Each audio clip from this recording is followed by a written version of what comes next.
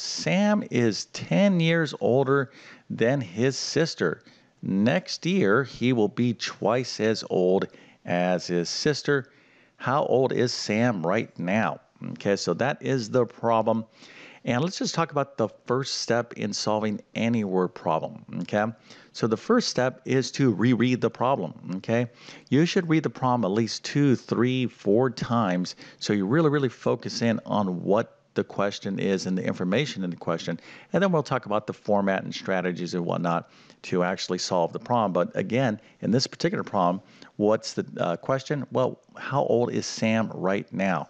And if you're not sure what the question is, a good approach is to look for that question mark and just back up and say, okay, what is what's being asked of me? Well, we want to find out Sam's current age. Now, if you think you could do this problem, go ahead and, and uh, maybe pause video, It'll probably take a couple minutes to do, but uh, go ahead and put your answer into the comment section. I'm going to show you the correct answer in just one second, and then of course I'm going to teach you exactly how to solve this type of classic algebra word problem. Okay, so let's go and take a look at the answer. So Sam is 10 years older than his sister. Next year he will be twice as old as his sister. How old is Sam right now? Well, Sam is 19 years old right now. Okay, so how did you do? I mean, if you got this correct, that's very, very good. Matter of fact, I'm going to give you a nice happy face, an A++, a 120%, and multiple stars to celebrate your awesomeness in algebra word problems. So that's very, very good. So the only way you're going to get this correct is by uh, obviously reasoning through and figuring this out and using algebra to solve this problem. So again, what is the first step in any word problem in mathematics or solving anything uh, for that matter is to read the problem more than once. Okay, so let's go ahead and take a look at the problem again. All right, so Sam, all right, is 10 years older than his sister. So, for example, if Sam was what?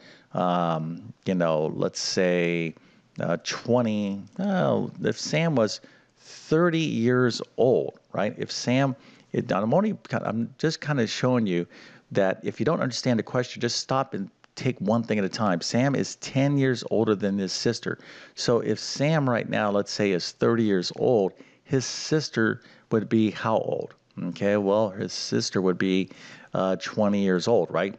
So stop and just kind of conceptualize what's going on here. So Sam is 10 years older than his sister. So for example, Sam would be 30, his sister would be 20. That is, of course, a difference of 10, right? So next year, okay, next year, he will be twice as old as his sister.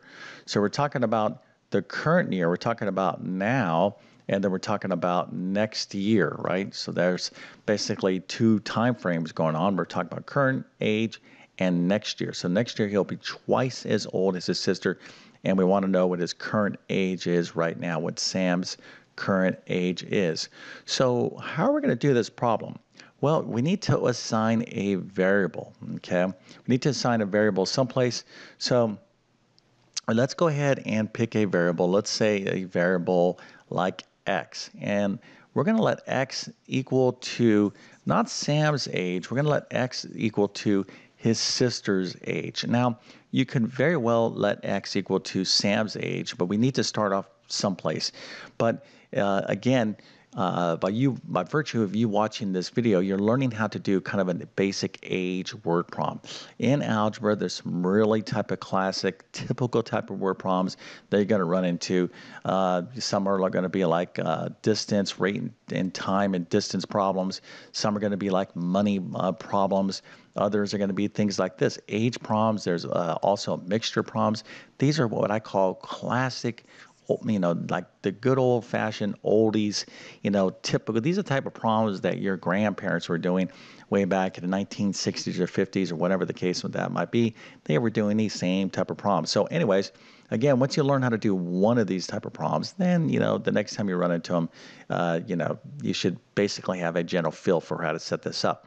So, we're going to go ahead and let a variable like x equal Sam's sister's age right now. Okay, the his sister's current age.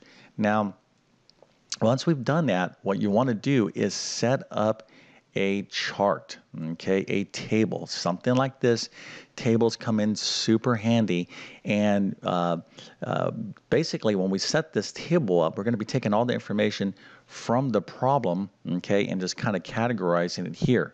So again, we have a kind of a lot of different moving parts here. Uh, let's go and take a look at this table. So the first column here is the current age. So we're talking about their age right now, Sam and his sister, and then we're also discussing their age next year.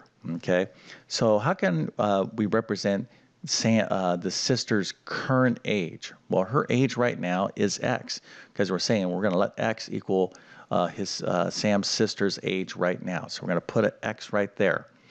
All right, so let's take a look at Sam. Let's just focus on this first row right here. Okay. So we know this uh, sister's current age right now is X. If Sam is 10 years older, right? So we up here, we already uh, looked at this. Oh, Sam is 10 years older. So if uh, the sister's age right now is X, Sam would be 10 years older or X plus 10. Okay, so that's the current age, their current age right now. So their age next year would be what? Well, let's just add one to their age, right? So if the sister is 12 years old right now, next year she's going to be what? 12 plus one. Okay, so uh, we're talking about years here. So all we have to do is just add a one.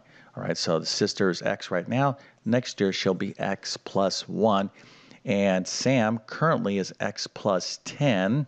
So next year he will be X plus 10 plus 1. Okay. All right. So if you understand um, this setup, now it gets to be pretty easy to figure this thing out. So here's the deal. Let's just kind of quickly review again some basics with any algebra word problem. Again, you want to read the problem two, three times. Really kind of figure, uh, yeah, kind of like what's going on. Then what we need to do is to establish a variable and organize the information. You could do that in a couple different ways. A table is great. So you need some sort of model so you can kind of see what's going on.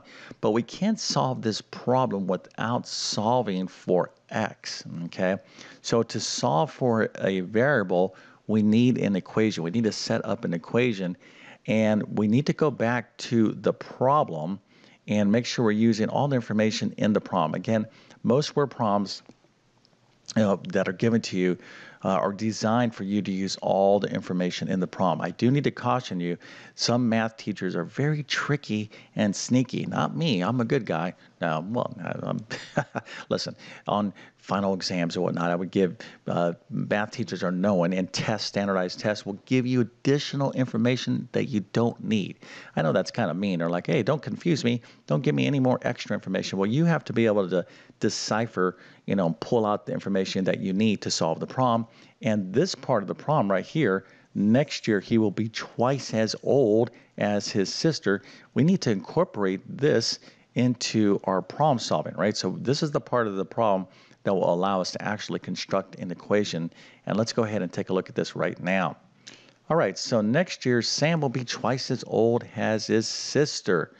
So that means next year, here is Sam's age. And if you take um, his sister's age and multiply it by two, that will be Sam's age, right? So Sam is going to be twice as old as his sister. Okay, so his sister's age times two will be equal to Sam's age next year. Now, that can be kind of confusing for a lot of uh, uh, people, but you have to literally stop and just logically think about Okay, hey, what's going on here? What does this actually mean? Next year, Sam will be twice as old as his sister. Is if his sister is uh, eight years old, next year Sam will be 16 or eight times two, right? His sister's age times two. Okay, so as long as you understand this, and again, if you're confused about, uh, you know, how to write this out in terms of an equation, just do a simple example like that so you have the correct model. All right. Okay, so Sam will equal to uh, twice his sister's age next year. So let's go and uh, get this information. We need next year's information. Next year's information. We got to go reference our chart. So how old is Sam going to be next year? Well, let's go back to our chart here. So I hope you're learning something from this video. And if that's the case, make sure to subscribe and hit that bell notification This really does help me out on YouTube. Now, if you need additional help in math, make sure to check out my full main math courses. You can find links to those in the description of this video. So let's go ahead and get back to the problem. And we have that information right here. So their age next year, Sam's age next year will be this, x plus 10, all right, parentheses plus 1. All right, so let's go and put that down. So Sam's age next year will be x plus 10 plus 1. And his sister's age next year will be what? Well, we have that as well.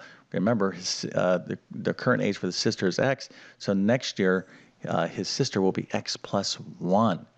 Okay, so we're almost there. So uh, again, Sam next year will be twice as old as his sister. We've got to put a 2 time times his sister's next year's age. All right. Okay, so if you understand this kind of setup, here is this equation. Now it's really up to you to solve this basic linear equation. It's not that difficult. Let's go and get into this right now. So we have x plus 10 plus 1. We're going to go ahead and add the 10 and 1. We get x plus, uh, 11. And then here we have 2 times x plus 1. What we have to do is use the distributive property. Take that 2 multiplied by x. We get 2x. Take that 2 multiplied by 1. We get 2. So we're solving for x. So we have x plus 11 again, and we have 2x right here. So when you're solving a basic linear equations, remember you want to get all your variables to the left and all your numbers to the right. So here I can go ahead and subtract. By the way, here in this particular case, there's a couple different ways you can go. I'm actually moving the variable over to the right-hand side. Now I just say get the variables to the left and the numbers to the right, or in fact, technically, you would be okay by doing the opposite, having the numbers to the right and the variables to the left, i.e. all the variables on one side, all the numbers on the other side. 99% um, of the time, you're going to see the variables on the left-hand side. But here I'm going to just subtract away an x from both sides of the equation. And I'm going to get to, uh, when I do that, uh, I'm going to add down in a column manner. What am I going to get? I'm going to get uh, x minus x is 0. Uh, 11 plus 0 is 11. 2x minus x is x. I want x. That's why uh, I did it this way. Uh, it's nice and easy, right? So you can do this uh, in this particular manner. And then 2 plus 0 is 2. All right, so now I'm left with 11 is equal to x plus 2. How do I solve for x? Easy, just go ahead and subtract 2 from both sides of the equation. You get x is equal to 9, right? 11 minus 2 is 9. So uh, at this point, you know, we have to ask ourselves, do we solve the, uh, the answer? If you put down, like for example, on your test, you were so excited you solved the equation and you said x is equal to 9, or you know your answer to the question is 9, you would be incorrect. We have to use that information to get the right answer. Remember, the question uh, was, what is Sam's current age? All right, let's go back up to the word problem here. Again, you have to hone in on what the question is. How old is Sam right now? Okay, so we just solved for x, but what is x? x is equal to the sister's age right now. That's what we just solved for, right? So we have to go use our chart again to get Sam's current age. So x is equal to 9, meaning the sister is currently 9 right now. So Sam would be 9, okay? This x is 9, so we plug that in right there. So that would be 9 plus 10. 9 plus 10, the last time I checked, is 19. So that that's Sam's age right now. If you need additional help in algebra, check out these courses right here. So pre-algebra is uh, for those of you that are studying basic algebra. But uh, if you are further along in mathematics, then you may want to check out my Algebra 1 or Algebra 2 courses. Now, my Math Skills Rebuilder course is a review course. I cover basic math algebra, and geometry in this course. I'm going to leave links to all these courses in the description of this video. All right, so with all that being said, I definitely wish you all the best in your math adventures. Thank you for your time and have a great day.